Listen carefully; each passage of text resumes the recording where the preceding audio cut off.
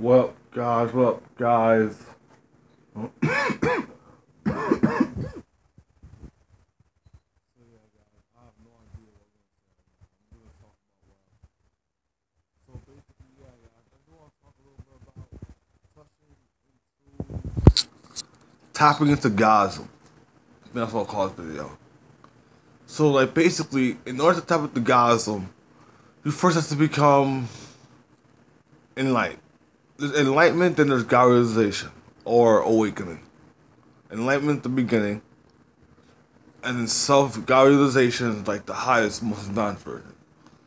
How God realization basically means self aware, true self, whatever you want to call it. Right? So, um, I'm stoned. so, pretty much it's like this.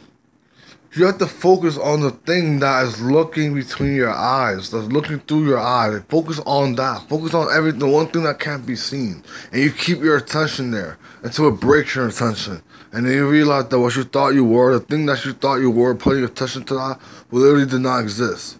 That's the whole thing. That's what you are. You don't exist, but you are the only thing that does exist. And beyond that. Not even that. No, all language is a lie. No, the truth can never be spoken.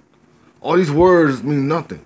They're only pointing towards something that I'm trying to describe as accurate as possible, so that you could tap into Godhood and God and God and Godism. When you have when you have control of Godism, you manifest everything you want. And yeah, it doesn't come instantly, but it comes a lot faster than you think. Faster than you think. So yeah, guys, how to tap into Godism.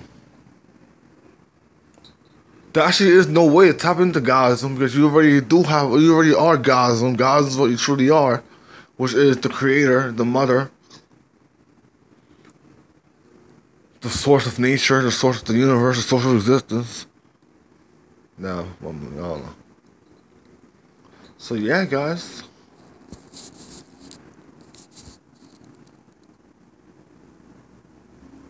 What y'all gonna do?